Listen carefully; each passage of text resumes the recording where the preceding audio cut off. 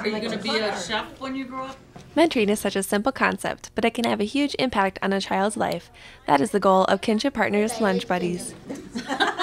Lunch Buddies is when um, someone in our community comes into the school over the lunch hour and has lunch with a child. In addition to eating lunch with their mentor, the Lunch Buddies also make a craft every session. This week, they made reindeer ornaments just in time for Christmas.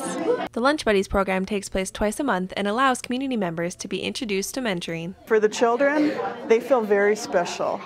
And so to have someone show up, and it is the same mentor that shows up every every two weeks per month, after a couple times, already the kids are overflowing with things to talk to their mentor about, and it's actually a real big support system. I just like visiting with the children on a kind of small group basis and meeting lots of different kids. Many of the mentors work for area businesses that sponsor them to be able to take an hour out of their day to mentor. We have uh, people who are um, working that get to take a break, and then we also have other people in the community. We have some people that are retired that's kind of common. The program has had a huge impact on the students as well as the mentors. There's a benefit both for mentors and for the kids. For the mentors, their benefit really is to come in and um, have an impact on their community in a very real way. I think they just like having another adult around to hang out with and to talk to and it's not trying to teach them anything or not trying, we just can enjoy our times together.